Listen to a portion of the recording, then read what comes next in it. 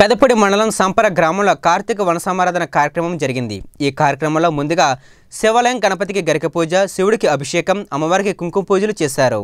ఉసిరి చెట్టు వద్ద దామోదర పూజ చేసుకుని సాంప్రదాయబద్ధంగా ఉసిరి చెట్టు క్రింద కార్తీక వన సమారాధన ఘనంగా జరుపుకున్నారు. ఈ కార్యక్రమంలో నాగిరెడ్డి వీరవెంకట సత్యనారాయణ సీతారామ భద్రస్వామి వీరబాబు బ్రదర్స్ పాల్గొన్నారు.